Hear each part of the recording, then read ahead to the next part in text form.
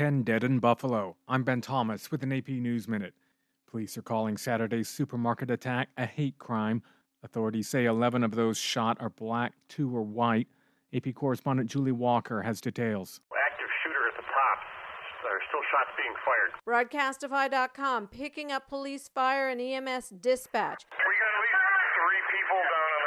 Witnesses say the shooter was a young white male dressed in full camo with a helmet and a rifle. He walked into the store and began shooting, then walked out, dropped the gun, and was tackled by police. Investigators believe he was live streaming the shooting and are looking at an online manifesto that could be his, as well as investigating whether the shooting was racially motivated. The supermarket is in a predominantly black neighborhood. I'm Julie Walker. Among the dead was security guard Aaron Salter, a retired Buffalo police officer. The police commissioner says Salter returned fire, but the gunman was wearing body armor and the bullets had no effect.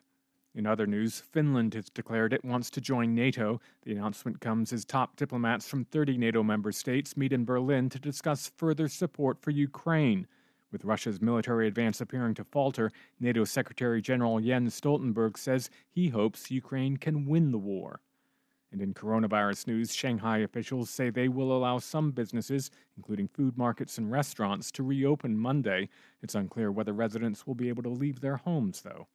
And North Korea says it's confirmed 15 more deaths from COVID 19 and hundreds of thousands of additional patients with fevers. It's the country's first acknowledged COVID 19 outbreak.